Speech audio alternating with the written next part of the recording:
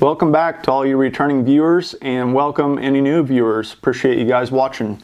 Uh, today we've got another flashlight review. This time we're going to be doing a tactical flashlight review on the Orcatorch T20. The people at Orcatorch reached out to me and sent this to me for a review. I've been using this flashlight for about three weeks now, kind of running it through its paces, uh, using it about every night in just various circumstances using it uh, throughout the house, using it uh, in the backyard, doing some shooting at my uh, backyard range. And uh, I've got a field out back. I've been shining for some deer at night, just kind of looking around, playing with the beam distance, seeing how it performs. So I'll put a link to this light down in the description below. And if you guys like the way this review turns out, feel free to click on that and buy the light through that link. So we'll jump right into it here. I want to show you guys what comes in the nice solid carrying case. And then we'll go outside and I'll show you guys some footage of how this light does perform in uh, it's going to be pretty dark tonight, so I'll show you how it performs in pretty much pitch black conditions. So now we'll take a closer look at what comes inside the nice carrying case. Uh, first here we'll take a look at the Orcatorch T20. Uh, this is just very solid construction made out of high grade uh, aluminum. And on the front here you can notice this kind of uh, strike bezel that you can use for you know tactical situations or personal defense. Uh, but it's also nice because it's stainless steel, so if you do drop it and it lands face down, uh, it's going to protect the, the glass on the front. And then it's also got the same stainless steel ring on the back with a lanyard hole. One thing that I do want to point out on this that I really like that most other lights don't have is on the back is your tail switch, pressure switch. So that can be just a momentary on, half click, and then you can let off. But what I like is once you do turn it on, there's a button here on the side which controls your various settings.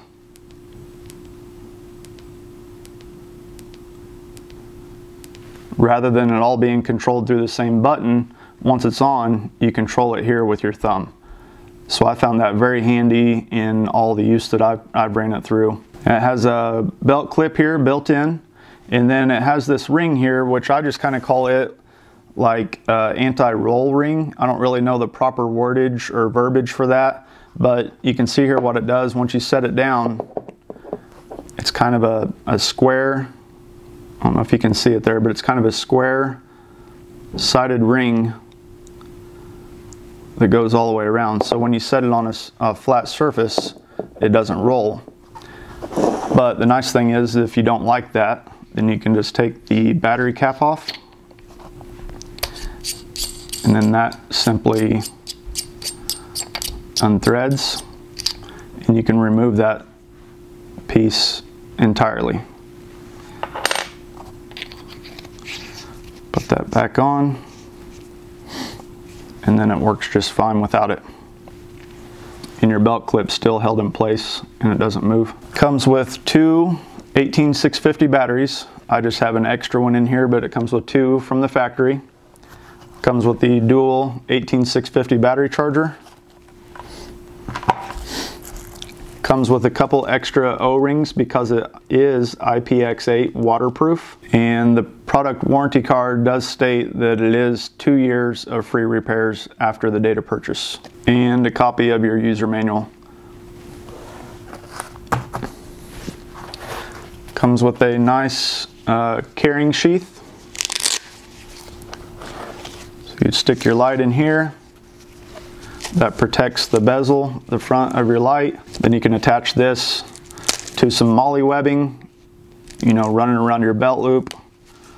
Attach it to a backpack, whatever works best for you.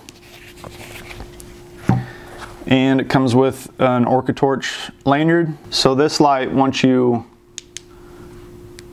turn it on to turbo, which is right there, this has a heat sensor setting, so it doesn't allow you just to turn this on to turbo and leave it and get extremely hot and you know risk any chance of catching anything on fire. This has built-in memory to where after 10 minutes it will automatically back down and run itself on the high setting instead of turbo. Pretty nice built-in feature there. So we'll run it through the settings here real quick. This is low, medium, high. turbo, strobe, and SOS. Just going to show you here what we'll be shining at tonight, just kind of a reference point. Uh, this barn right here that's in the frame, that is about 95 yards away. And then I'll show you guys off the back porch, kind of some longer distances that we'll shine at.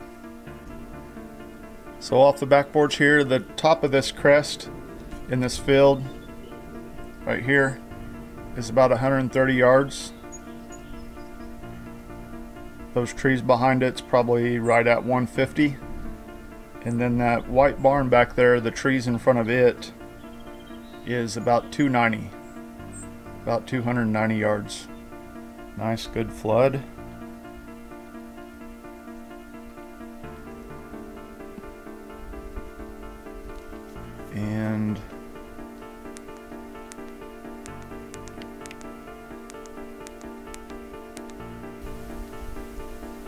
And there's the highest setting. Pretty impressive.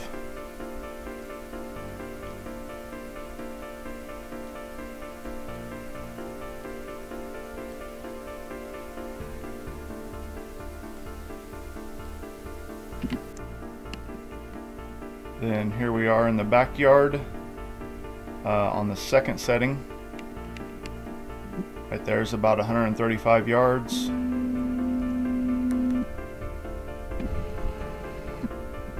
And this is the third click.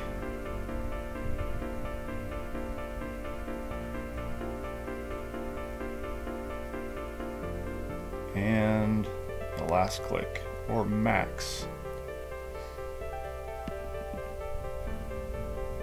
Pretty awesome level of output for a tactical flashlight.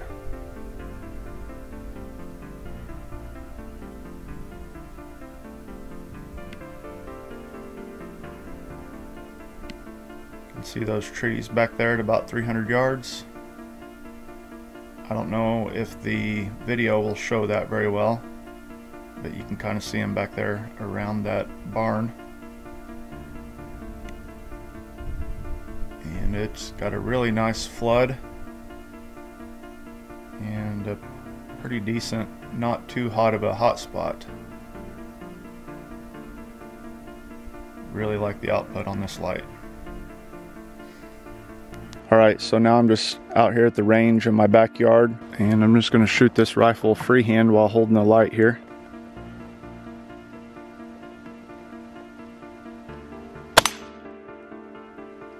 Go for that smaller one now.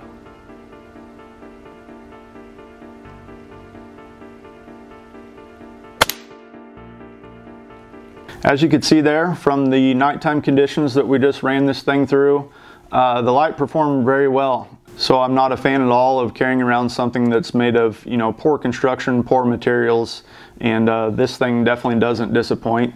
Uh, very high quality construction and just very well built. And as you can see there in the nighttime conditions, this thing is just super bright. The various settings that this thing has, uh, from low all the way to high are the main ones that I use of course but those are just very handy so you can you know dial it down if you don't need something so bright whenever you're maybe walking through the house or uh, you know, getting up at night and checking some stuff out. If you don't want to wake up everybody in the house, you know, you can keep it pretty dim. And then if you want to step outside and shine off the back porch or check what's in your driveway or whatever it might be, you can ramp that thing up and put it on its high setting and it really puts off a really nice hot spot and uh, just performs really well and just does a really good job of lighting everything up. So this light definitely isn't something that I would use for EDC or everyday carry just because it is pretty big and kind of bulky, but it's perfect for like a nightstand type light, just something to keep right next to your bed or keep on the workbench, keep in the kitchen where everybody can get to it. With its uh, very high quality construction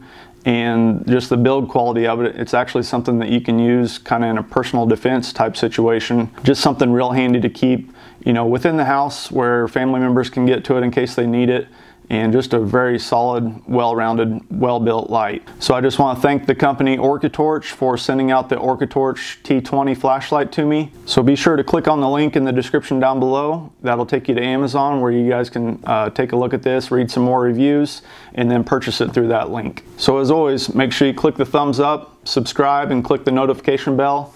Stay tuned for more videos to come. As always, happy hunting. Be safe. See you guys. Bye.